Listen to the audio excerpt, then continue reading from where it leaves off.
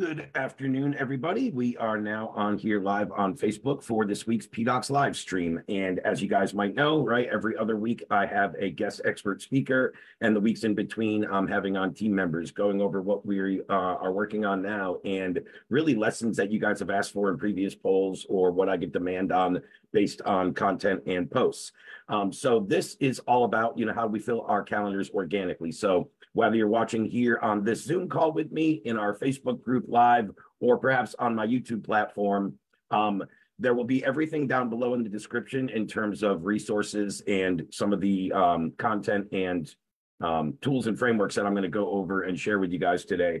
Um, I'll make sure you get access to those down in the comments or the description. On Facebook, actually, if you're watching the live stream there, just comment below because I'm going to go through a few resources on what you might want me to send over if any of this is helpful.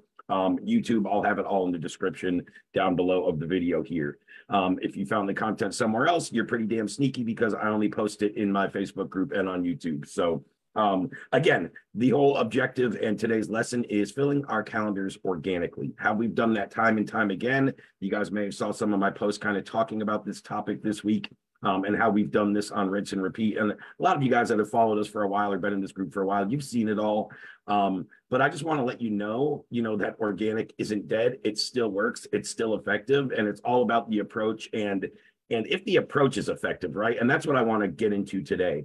So first off, let me just share my screen and dive into a couple of resources here. Bear with me a second. So we'll, we'll just start with this one. Give me one second. There we go. Screen.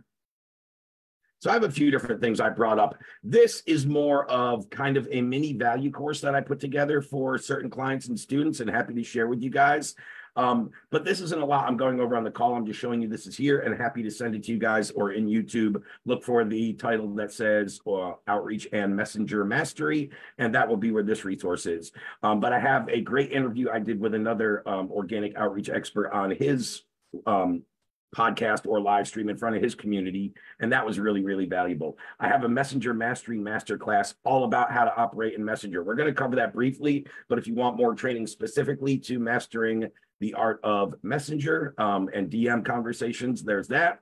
Our PDocs appointment setting SOP, which in the past, a lot of you guys may have paid for or got in with some of our paid courses. Um, I'm offering for free here and my offer building masterclass, which if you're looking to craft a high ticket core offer, say between two and 10K, this would probably be really, really valuable for you. Um, so we have that available.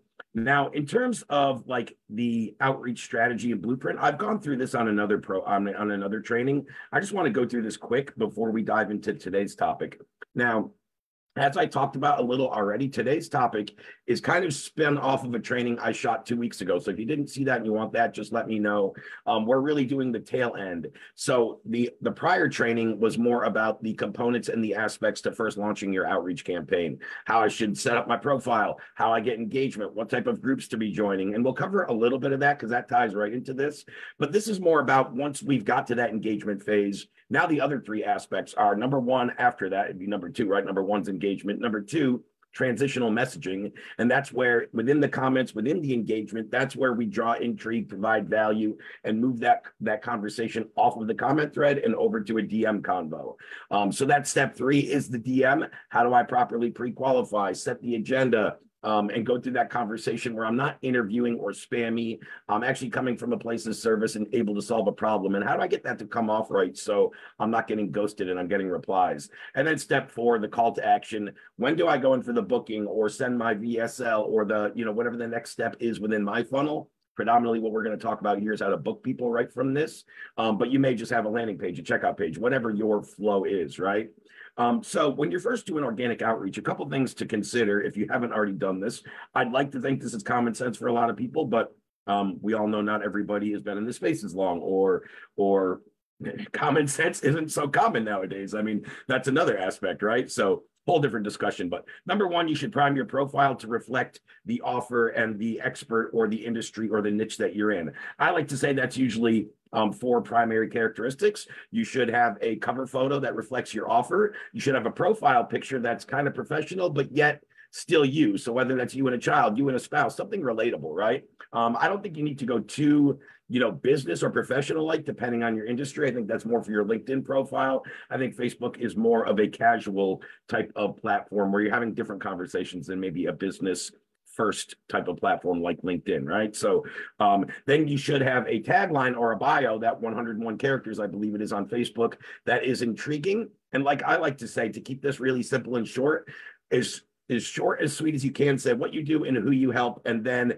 kind of make an inside joke that only your market would understand for instance one of my tag- taglines that worked really well is i help people level up their businesses organically without needing a russell brunson like ad budget right? That was a really good one that worked for me. It tells i help service-based businesses. Um, my expertise is organic and then i make a little inside joke that only my market would really understand and that helps you stand out a little bit. Rather than the typical thing that most coaches teach with a profile is I help X do Y in X amount of time without giant obstacle or hurdle, right? So I help agencies um, book more qualified leads without having to spend more on ads. Um, you know, whatever, you know, you, can you can go with whatever you want, but the way I look at it now is like hey, I help X do Y without jumping through flaming hoops, and you don't have to give up your firstborn child, right? I mean, that's being a little more sarcastic, but that's basically what they boil down to. And and there's too many that are the same. So I don't want to spend too too much time on this. I want to get into the curriculum. But number one, uh, prime your profile. Number two, identify and target your ideal audience um, and who you want to be connecting. Then add the right people. Don't just grow your profile and your social media with followers or people. Grow them with the right people that are actually going to engage with your content that are actually going to, um, you know, engage that are going to request your trainings, your links, your info, your offers that are actually interested and are in the same industry, suffer from the same problem that you help with, right? All those type of things. Um, the content objective is whenever we're creating content, we have to have a very specific objective, and I'm going to dive into that a little more. Um, utilize some of the group strategies, which we're talking about a bit here today, and that ties back to that first training I mentioned I shot about two weeks ago um, have a dialed in outreach approach for both cold and warm. It's a little bit different. Um, I discussed that when I went over this transitional messaging, um, optimize your sales process after the booking. And we're not going to get too much into that today and close deals and get paid, right? So the other thing I want to cover is some of the content strategies. And we just talked about this, right? So here's a tutorial within the sheet. If you want the one that's organic content strategies, just let me know in the comments, right? But here's a main tutorial just specific to this and going over this document and going more in depth about knowing the difference between warm and cold, understanding the sophistication level of your audience, what type of poster content, long form, short form, video content, value-based content, story-based content, when should I use it, why? We get into all that, the different type of lead types how you should constantly be optimizing and getting the feedback loop. If you know a certain topic or post isn't engaging, don't keep posting about that. Change it up, right? All those little things. Um, and then content creation ideas, right? So there's simple, short form, question based, there's long form, story based, there's video, there's value based, there's result based, um, there's new updates, there's you know research based. Um, you can utilize your offer pillars if you have that built out. Those are usually core areas that are great for creating content because anytime somebody engages with that topic of discussion, it directly correlates to your offer and it's a smooth transition into that conversation. And then also repurposing and evolving your content, as I talk about. We all get those memories. You posted this one year ago, two years ago. I find it funny, number one, how I look at that content as I've evolved as a business owner and I either I'm like, oh, that's spot on. I, I, I don't change a thing and I'll reshare it, right? Or I'm like, hey, I've evolved on my thought on that. I don't actually feel the same way, or I have a new approach. So I'll use that same content that may have engaged a year ago and I'll tweak it and update it with new thoughts, new approaches, how I now feel about that, or something I may now know that I didn't know a year ago, right? Um, and don't overthink it. When it gets into organic, it's all about the actual activity. As much as everybody says all the trips, ticks, tips, tricks, and tactics for organic, if you're not actually doing the work and every day you're out there posting out there you know implementing these strategies and doing it consistently and holding yourself accountable um, you know you're never going to get anywhere so that ties into those first three right there fail forward do it and do it often constant activity hold yourself accountable when you look in the mirror at the end of the day if your goal at the beginning of the day was to publish three posts, send out um, 15 no, new DMs and 10 friend requests. And at the end of the day, you've only done two posts, four and six your day's not done. Look at yourself in the mirror and say, shoot, I got to get back on my phone or back to my computer and finish my organic stuff, you know, my metrics. Um, constant tweaking, optimization, more publishing and posting, and less thinking. So, um, and then there's an additional correlating tutorial um, that talks all about that as well. So that's a good example of that. Now let's kind of dive into the main objective here today and what we want to go into. So we talked about, you know, first off, the four main aspects of things. And again, you guys can look at this kind of in the ACEs framework I've talked about before. It's all about attention, conversation, educating, and then getting to the sale. And this four step thing number one, engagement is the attention. Number two, the transitional messaging is the beginning of the conversation. Number three isn't as much an education in this process as it's more a continuation of the conversation. And it's more of a triage or pre qualifying phase. We'll get into how that looks. And then number four here is the call to action or the booking, which in that case would lead to number four and the other process of ACEs with the sale, right? We can't do that without a booked call and somebody on our calendar. Um, so let's go through, through, through some different strategies there first and foremost. What I'm going to do, first off, we'll do a little on the engagement. Again, I already did a few different, um, I already did a few different lessons on this in the past. And basically, um, today we're going to focus on the latter three but let's dive into the engagement a little bit aspect. And let me share my screen and just bring up a couple of posts um, that have worked pretty well for us internally or things I've seen work well for other people in the industry. One moment here. I had too many people hop in in a second and I mute, minimize my screen. There we go. Now I'm back. So a couple examples of simple things you can do for engagement is anytime you create something of value, you know, repurposing that or offering that in a, you know, value-based sense. Um, so a post like this, like this was in our PDocs group by an old team member, Yosh, good friend, and he's doing great things, right? And the post was very simple. Messaging masterclass replay is ready. Um, we went over how we've booked 3,000 plus appointments just through DMs in the last year. Who wants it, right? 151 comments. Now, this is more in a place where you control the traffic, right? In your group or your own timeline. It's more difficult to do these posts in other people's groups. And that goes back to knowing, you know, the objective, um, you know, what you're on here to do. And, and that will help us craft the type of post we're trying to do. So let's look at another example. Uh, this one here. Um, this was online coaches and consultants, just a post I came across. I don't even know this woman, but I do remember in the transitional messaging um, doing some comments on this, but that's very engaging, right? 386 comments and very simple. Hey, we've generated 249 leads in the last nine days and I'm sharing it all for free. Want access before I make it paid? Right? That builds urgency, that builds authority, that shows a very direct result, 249 leads in a very specific time frame. So they did a lot of very um, kind of thought out things and objectives in creating this quick little two sentence post. So you, again, that's what I talked about earlier. Like overthinking this is not something you need to do. Um, it's just got to value. It's got to you know offer value. It's got to engage. It's got to solve a problem. And another thing I like to say to people when they're thinking about like what type of content do I create? Well, what do you go comment on? What do you like? What do you engage with?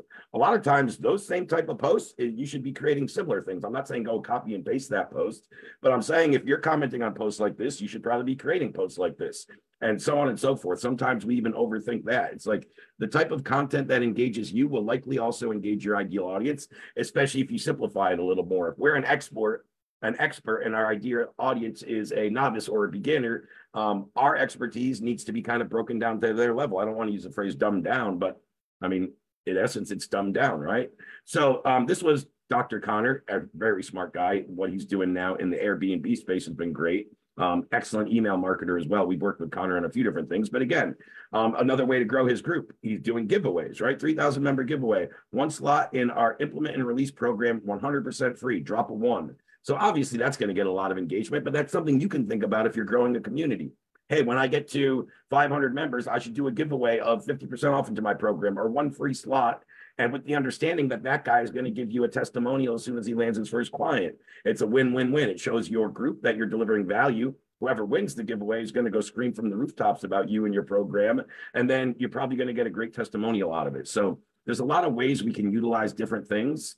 Um, to you know expand our network and get more content testimonials case studies all that stuff that people talk about with social proof. I still tend to think they're a little overrated but i fully understand people's lack of confidence without having good testimonials to take to market. Like i get it. You can certainly sell without them and it's easier to have um, authority you know credibility. Um, this was another very simple one right? It's official I'm writing my first ebook to show coaches how to hit their first 5K months without ads, even if you're brand new. Who wants a copy when it's ready? So he's basically pre, you know, pre-taking this uh, information to pre-presenting this information to his audience, he saw he got 38 people that were interested. So he's probably like, cool. He probably had something when I write something like this, it's for research. Hey, if I do this post and a minimum of 25 people comment, I'll go actually do it, right? If I create a post and two people raise their hand, I'm not going to go write a book that two people want unless I have other, you know, aspirations for or objectives for it. But that's likely what this post is doing. It's it's going to your audience saying, "Hey, I have this idea. If I did this, is there value there?" And when enough people say yes, then I go create it. Um, another mistake a lot of us make as entrepreneurs is we like to go make what we think the audience wants, and then we take it to market and we get crickets and no one's interested.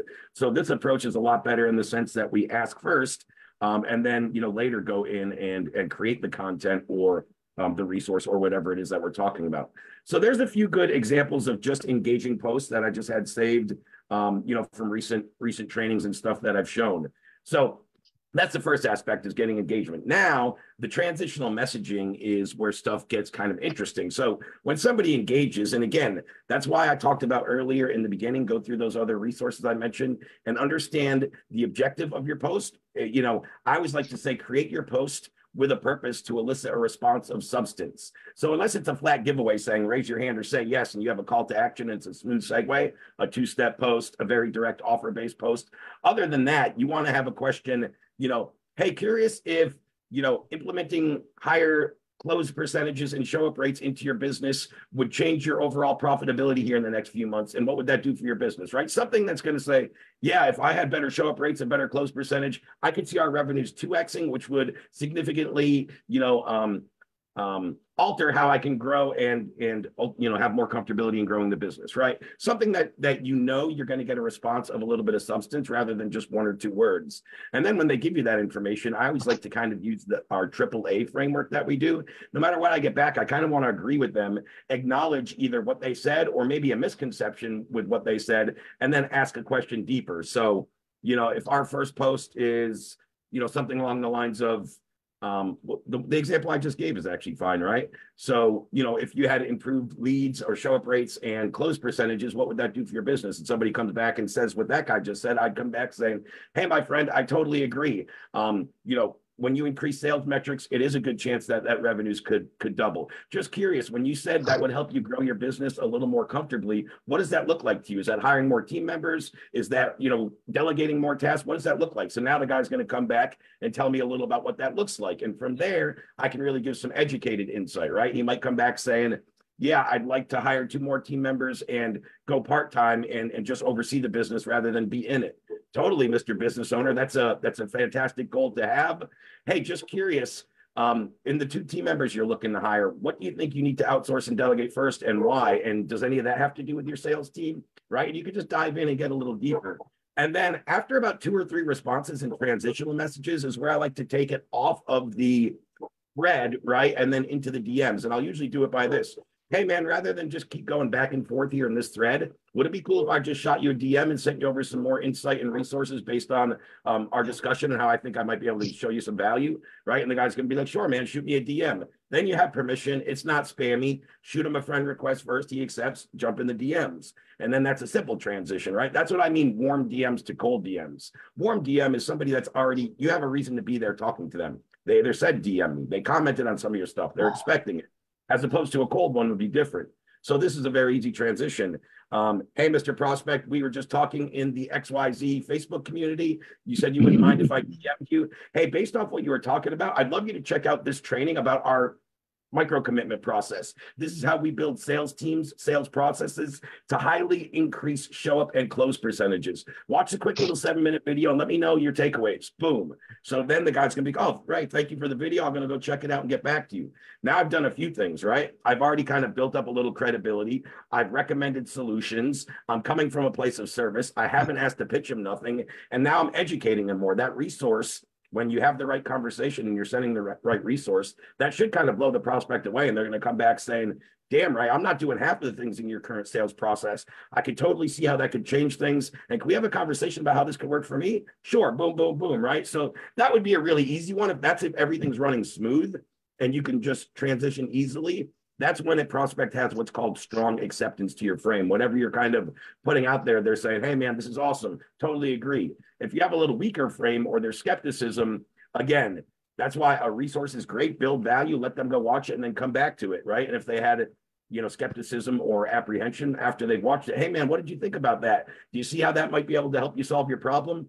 Well, yeah, Ray, I do, but I'm not sure about how that would work in my business and how much that costs. Oh, well, I wasn't trying to pitch you or sell you anything, but I'd be happy to hop on a brief little 15 minute call and walk you through exactly how this could look in your business. I've set this up in dozens and dozens of high ticket remote businesses, and I've seen, you know, great success every goddamn time. So worth 15 minutes of your time? Sure, yeah, I'd hop on and jump on, right? So, and then that's how I get into the, the full triage call.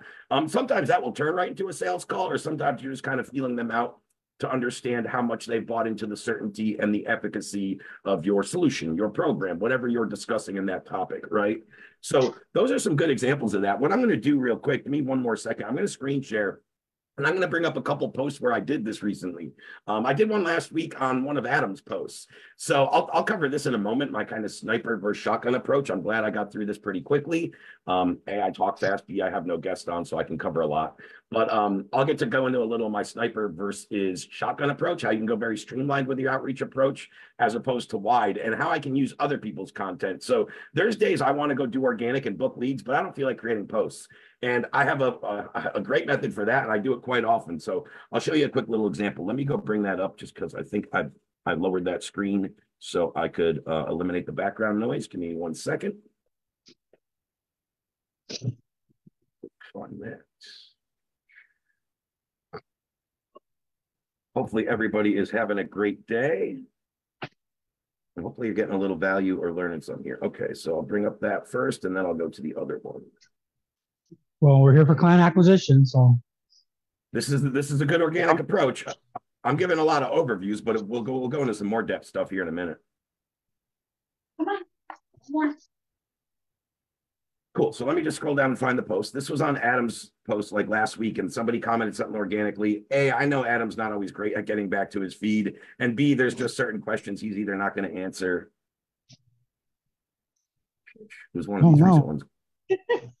it was. Sorry, bear with me two seconds. I should have had this up. I believe it was this one. Let's go take a look. A guy by the name of Shannon. There he is. So Shannon, okay. So Shannon comes in saying, hey, so um, Adam's post, just so you can get the whole kind of gist of this. Adam's post talked about the new self-liquidating offer that we just launched uh, February 21st. This post was $50 spent and made 500 on the front end. Not a bad start, right? Now, if I was a big enter, I could totally go running my mouth saying that I generated a 10x ROI and even start giving out advice. But instead, I know Facebook's trying just trying to keep me spending money by rewarding quick wins. As soon as I start scaling, it'll likely be there very different, probably about a 1.5 to 2x ROI or break even. So instead, I'll just be quiet like many others should. So pretty good post. But this guy comes in to say, so I'm curious if you know any business models out there that help an entrepreneur without a current business start up and then get these kind of returns. I mean, starting from scratch, totally. Been thinking about wanting to have an online business, um, but the done for you options like Amazon stores seem to be good, too good to be true. What they claim.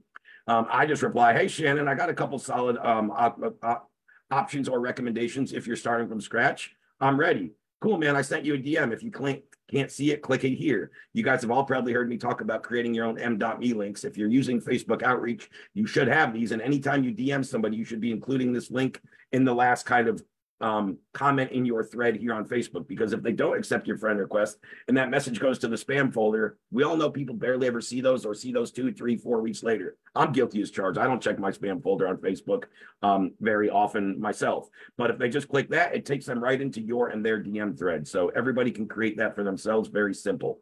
Um, so that I mean that that was again the transitional messaging. This guy talked about his problem or what he's looking for, a startup from scratch, um, and he talked a little about what he's thinking about trying and his apprehension there, right? Sounds too good to be true from what they claim. We all know those Amazon FBA and those drop shippings, uh, they everything right in the beginning sounds so good. And we all learn that the affiliate or the MLM or the e-com or the drop shipping business isn't quite as easy as it sounded in the ad we saw or that VSL, right?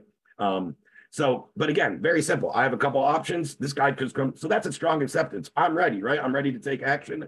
Boom. I'll just go right in for the booking there. Take it to a conversation. So let's go see what that conversation looked like when I took it into the DM real quick. Shannon, we actually had a good chat and I have a follow up with him next week. I gave him two different offers and then sent him some resources, go figure, as I, I practice what I preach. So where'd the conversation just start? February February 29th. So this would be the most recent one. So this guy, and I found this out, I didn't remember this, but he was already in my pipeline. You can see we spoke last year in June. So it'd been quite a while. Um, and then I just reached out, hey, Shannon, just replying to your comment um, on Adam's post, right? Um, you mentioned looking for an online business opportunity starting from scratch. Basically, that's correct.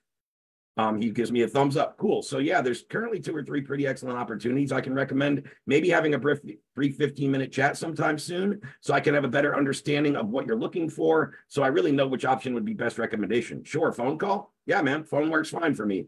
I'll always do a phone for a first call. I'm not really getting into screen share or, or, looking for a hard sale until I get to an actual sales call. I consider this a triage call. So I'm always happy to do those on the phone. Um, and especially if the, the prospect requests and asks for it, um, who am I to say no, right? So cool. I could do either uh, 11 a.m. or 12 p.m. Um, which one works for you? Monday is better. Cool. Monday I have 11 or 2 p.m. 2 p.m. I'll book it in right now. What's the best number to reach you at? Boom, there's a number. Cool, Shannon. I'll ring you on 3 4 at 2 p.m. Enjoy your weekend. And then I always do this about a half hour before. Hey, Shannon, giving you a ring here in 30 minutes. Check mark. Then after the conversation, he wanted to know more about our sales lab new offer. And this is the one he was most intrigued about, about the options I presented. He wanted some more information. Uh, we have a follow-up March 21st, 2020. I have to look on my calendar. Next week, though, we have a follow-up where he's either going to make a purchase or he might want to look at one of the other options I recommended. Um, but there's just another good example of very simple, basic conversation, how I went on somebody else's post. Yes, in this case, it was a business partner. I totally get it. But Adam isn't looking for people right now, and he's not talking with people looking for startup opportunities from scratch. Now, in one of my new offers and one I am managing a sales team for, we have a couple great biz op opportunities starting from scratch. So I was a lot better person to reach out and answer that question. Um, another one I want to go show you guys in terms of like utilizing other people's content. And probably I only shared this in the past with maybe people in my private PDOCS client acquisition method program. Um, should be right down here, not too far. This one was really, really cool for anybody who hasn't seen it um, in terms of like my sniper approach and going and using other people's content. So I'll show you the exact strategy. And I do that in one of three ways. I, I look for other organic influencers or, you know, category kings, for lack of a better phrase, that serve a similar market as me, um, that post a lot of content and get a lot of engagement and don't always get back to their comments. We see that quite often. I look for competitor ads or any, not even always competitors, but people with their ads targeting a very similar audience to me. Um, and then third, um, I will use other people's, you know, posts within or other people's groups as we've talked about. So that one's that one's the more common. Um, okay, here it is. This is the post right here. So let me blow this up. So basically, I said on here, hey guys, there's something fresh that I did and I shared with my team of setters inside my DM Center Academy that I thought you all would like. But a quick little eight step um, process, and I'll show you each step in an image to getting leads without even posting any content. So, number one, find a post or discussion. You know, find a post discussing a problem or a topic that you actually solved, right? That's a great start. Find comment of prospect dealing with said problem three through six, you'll see below, use transitional messaging as we just talked about to send, get a friend request and a DM. Um, friend request sent by prospect in this case, use DM to fill his gap and provide value. So let's just go through the images here real quick. So number one, Dan Henry's post. We both serve very similar audiences in a couple different things. Um, one of his membership programs is similar to mine. He has sales offers very similar to some stuff we do or did in the past. And this is right up my alley. What sucks about generating online appointments? Great research question and a great question to do here if you're going to get good engagement to spin off into a conversation of substance, right? So very quickly, number one, found an influencer that talked about a problem that I solved right? So then number two, I'm looking for somebody that's suffering from this problem, and preferably the influencer or the poster here didn't reply, which he didn't. Um, if you see by the metric or by by the engagement here, sorry, it shows his comment was two days old by the time I engaged. Well, if Dan, the post person, didn't get back to him within two days, I'm not too worried about it. He probably never gonna, right? But what he, what he said is finding dependable appointments.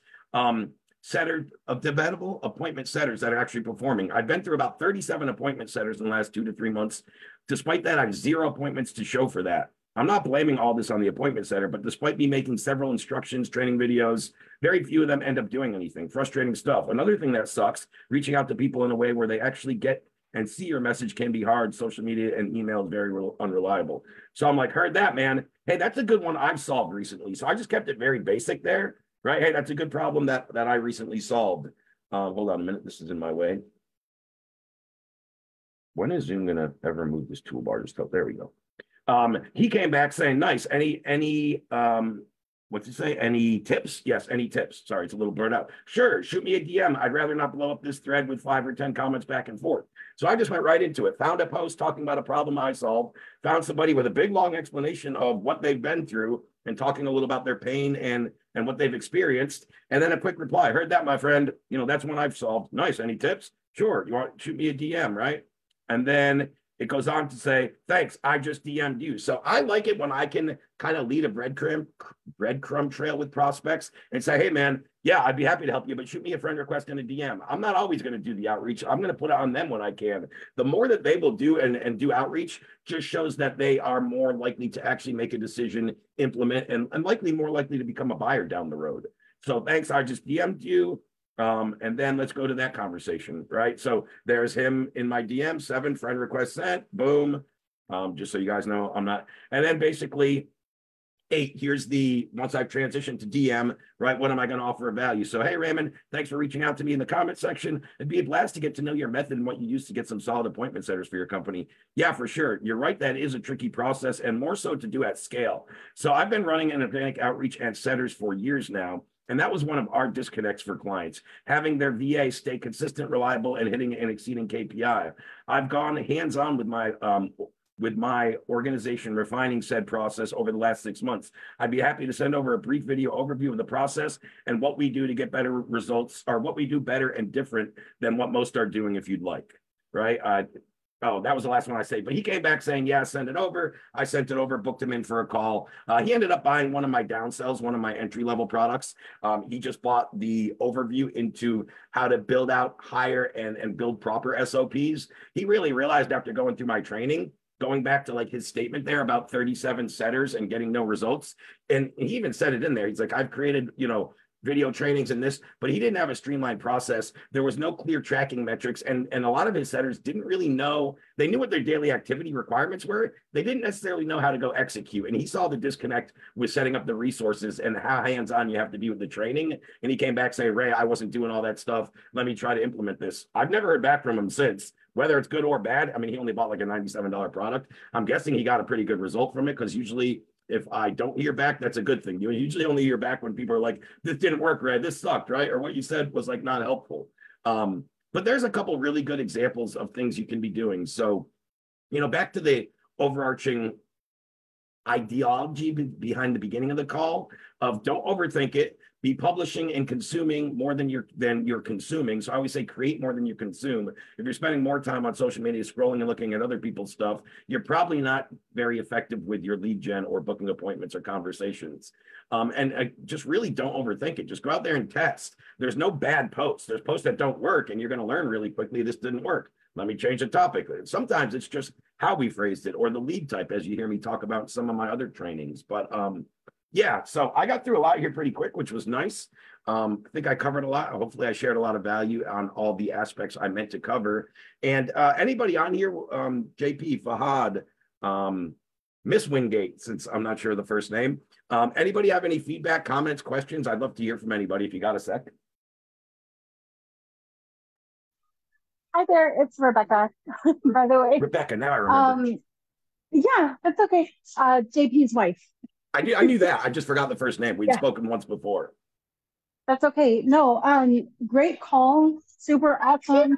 Love, love all of the info. Everything you said makes absolute total sense.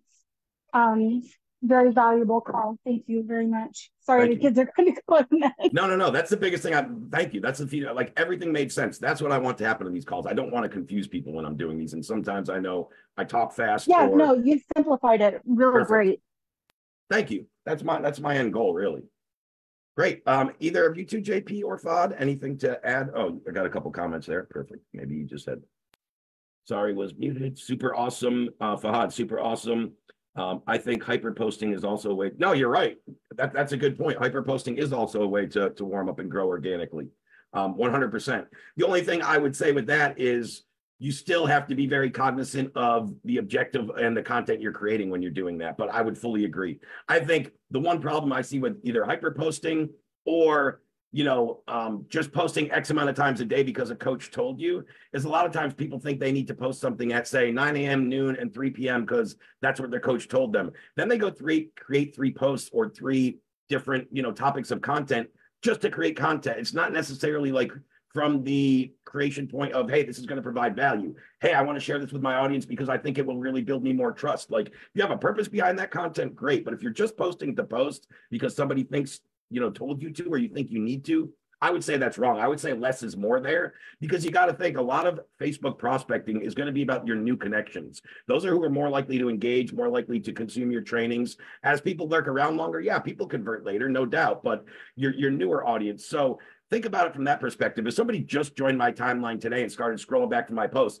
and I have three posts yesterday, three the day before, and three the day before, and two out of three each day are kind of worthless or or not very relevant content or not very engaging, somebody's going to look at your profile and they're going to scroll through six or eight posts all within the last day or two and say, this guy's kind of boring. That's why if you look at my timeline, you probably see four to five posts a week and probably a healthy mix of, hey, I'm running this event. Hey, we just got this uh, great result. Hey, here's me on a run with my, you know, out at the park. Hey, here's me out at an event with my daughter. So there's a healthy mix, and I'm doing that for a reason. Um, I think Facebook is a platform where people want to connect as a person as much as you know your your level of expertise or um, you know your sophistication level and the problem you can solve for people so i think there's a really good healthy mix and sometimes people get lost in that when they just post to post rather than with an actual objective of why they're posting or having a strategy when I first started online, that was what my first business coach told me. Ray, you got to post a minimum of three posts per day on your timeline. Also be active. I was just talking about my timeline there. Yes, you should be posting in groups actively. That's totally different. But just for my own timeline, through trial and error, I started to figure out this isn't really working. And when I started to pull some of my newer friends or people on my timeline, they'd be like, "Hey, man, I just don't like." I scrolled through six or eight of your posts. They were there was nothing great there, and I started to think more and more about it. And then I started to scroll back through my posts. I was like, I don't even think these are good. Like, why am I doing this, right? And sometimes we got to question. You know, we're just doing things because we're told, and it's great to follow what you you know follow um, a coach or a program or a structure, but you're going to follow that for one of two reasons to prove that it, hey i put in the work and this works or hey i put in the work and this approach actually isn't working for me so i need to tweak it or go to a different approach. So if you have that objective either neither one is a fail you learn something either way. Um, if it works great. If it doesn't you know you need to tweak it. So um, yeah that's what i would say on that but but you're, you're so right um, how active you are. And the other thing that can really help you on social media is how much you engage with the people that you want engaging with you. So when you have new people join your timeline, go start to like and comment and see their their stuff. And then your content is going to go in front of them more. So that's another thing people don't really do anymore, especially people with like a higher maybe status, right? That have more of a business sense and they're adding kind of entry level people into their pipeline they don't really go back and engage with those people's content. And that also hurts your reach and and and your impressions and how many people are going to see your stuff. So yeah a couple other tips there but that was a great point Fad. i'm glad i got to speak to that a little. Just real quickly i did want to um, say that we do practice quality over quantity as well because like you were saying if someone goes back and scrolls through and half of your posts are nonsense and they're not really anything of value, people aren't going to stick around because half the time you're just, you know, playing around. You're not really actually giving any value or actual input for people to use. So they're just not going to stick around long term. Couldn't agree more. Couldn't agree more. 100%. Yep. Nailed it there. I would also add a point that if you have evergreen content, uh, you don't need to find new posts, you know, and you can repost your evergreen content again and again. 100%. Actually, before you guys hopped on, I covered that at the top of the call on one of the quick little worksheets I went through, but I fully agree. I talk about repurposing or evolving your content, right? So you might have evergreen content um, that you're also going to evolve and tweak a little because what you know now, as opposed to last year when you created that, your thought process might have changed your strategy, your approach. So it's great to repurpose content that's still relevant or evolve the content that had engaged in the past. And now you look at it a little differently. Um, and another thing I would say, Rebecca, to speak on, on your point is another thing I get asked about organic is like, should I take a stand on topics or am I going to ostracize my audience? What I've learned more and more is at first I, I tried to really stay away from talking about any of my like political beliefs, moral beliefs. And as I've got more and more in this space, I I learned it's the exact opposite, what I feel works for me at least. I would prefer to just be my authentic self and resonate with the people that also have similar beliefs, values, morals, ethics, that kind of stuff. Um, a lot of times we are maybe ostracizing or alienating a certain part of the community that would never be our ideal client we wouldn't want anyway. So for me that's a win. I think your content and and your messaging should speak to your ideal person or the people you want you know on your timeline to engage with you to ultimately maybe become a client. And it should also kind of push away your not ideal audience. So that's just kind of my thought process and something i've learned over the years and what's worked for me. Uh, don't know if anybody has any thoughts on that yeah, we generally do try to stay away from things like politics and, you know, anything that's not polite, um, civilized, sorry, polite, civilized conversation. You yeah know, yeah anything that's maybe not politically things. correct per se Yeah, politically correct. There you go. yep Sorry, and I did that are- forever. I did that forever. I started to get more, and I still don't do it much. I have a private little group that barely anybody is in, just really close family and friends where I share that kind of stuff. Um, there's a lot of it I wouldn't share, but I've got I've got a little more to being as authentic as I mean, one of my one of my core values and something anybody that knows me really knows about me is I'm unfiltered. Like I say what I speak. So I started to realize like I'm not being totally authentic when I'm censoring myself. There's certain things I, I won't touch and, and I'll save for a little private group, but I've got I've got more to to not being um what's the word I'm looking maybe afraid? I don't know if that's the right word but you know fear of of alienating people or saying the wrong thing. Like I've gotten over that more and more and I realize the more you do take a stand on that the more you actually build brand loyalty. And that's just again me. Could be different for everybody. And depending on how professional or the business you're in there's certainly times I would never get political if I'm a part of certain organizations. So that's just how I look at it. But it's a great point and on both ends of the spectrum and it's I think it's a good conversation to have JP, you had something?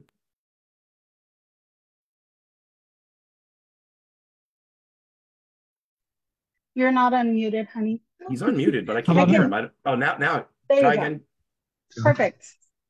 Um, before I make my comment um, on the topic, just wanted to thank you once again, Mr. Remy, for having an amazing uh, weekly call that we can tap into and connect with you and your team and the remainder of the company. So an amazing opportunity for us uh, to uh, connect in that way. Um, very briefly here, two things. Um, it's super windy outside, so if my mic gets windy, just let me know. No, you're good. Um, we talk a, we talk a lot about strategic or targeted communication in a way that either repels your target or it attracts your target. And so, for example, like dual purpose communication, it's like you're trying to pull in a very specific market and Yep. push out another type of market. Now, divisive marketing is for masters only. Right? So I I, I don't want to say that and have somebody go out there and say some crazy divisive stuff and like, oh my You're gosh, I breaking just up a bit, my entire network. I don't want to promote that. But what I'm saying, oh, okay, thank you. No, Uh, but what I'm saying is that good. um, okay, awesome. Uh, the more masterful or sophisticated marketer understands the nuances of communication and language and specifically vocabulary, right? So certain even keywords, trigger words, buzzwords, et cetera, that we use in the marketing world. Um, we have to understand that just because we say something doesn't mean that the intended audience is going to see and interpret that word in that linguistic uh, code the same way that we do. So, like trigger words are very, very volatile, right? Yeah. And they're volatile for a reason. We can say one trigger word, and I, I, I take this back to my career 20 plus years ago. I was doing a pitch and I said one wrong word, and the client got up and said, um, you know, love you, you're awesome, can't work with you, have a great day. And it wasn't personal. I used one wrong word, one. So That's that's, how specific this can be. So, so to your point, yes, it is a fearful moment because if you miscommunicate and and or opposite the conversation, misunderstand, now there's a disconnect, there's a schism, and now we have conflict. And this is where conflict is generated, right? This is where linguistics professors talk about this.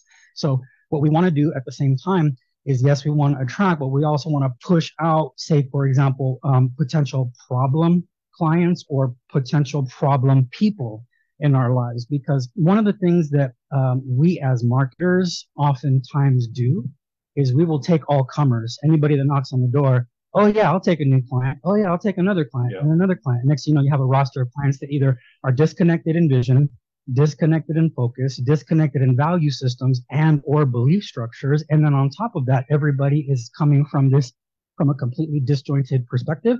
It's really hard to get organized around that. And that's why a lot of agencies kind of stall out, quite frankly, is because they're sending out 500 marketing messages to 500 different industry niche verticals and they're not getting any traction because they're not able to generate the amount of interest that they need to get critical mass in that one vertical to reach scale, right? So horizontally speaking, they're they're, they're shooting their, their their their energy at the lowest possible outcome as opposed to saying, okay, how do I structure my messaging for highest impact, highest outcome, highest return on investment, highest return on time, highest return on capital, et cetera, et cetera. And that comes down to content creation, content management systems, and then how do you publish that like you're talking about. So anyhow, wonderful, juicy topic. We can talk about this all day. Yeah. I'm sure we all can.